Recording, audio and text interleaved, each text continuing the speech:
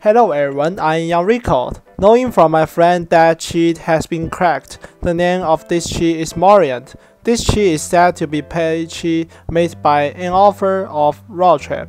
But first of all, when I saw that it was related to be a author of Roadtrip, I was a little scared immediately because I played the legendary pace of Roadtrip and it was really bad. How about this cheat?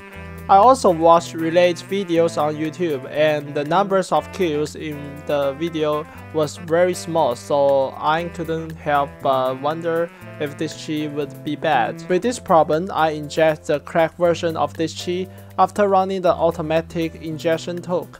Wait for a period of time for the Windows to its handle. To be honest, I was stunned when I first saw this interface. This UI looks good, but when I can find the device scaling, I'm crazy. The ragebot has the basic functions, but it lacks the point scales. The crazy thing about is that when double tap is replaced, it will freeze for a while, which affects the operation very much. Anti-aim has center jitter, distant jitter and other functions, and Lua supports full state system, which looks pretty good. For a mouse, movements are very unsatisfactory. This jump is definitely. This cheat actually has a custom HUD, which looks very creative. It can also set locate animation effects. See here if you are drawn to it.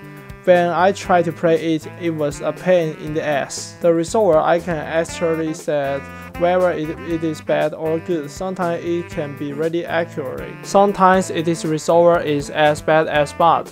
It can't hit people at all, and it misses by sprees and predicts. The most critical part of this cheat is this anti-aim. You can get on shot very easy.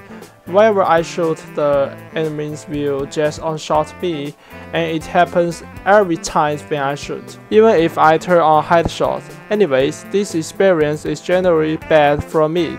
If you want to comprehend the feeling of being baited, try this cheat now.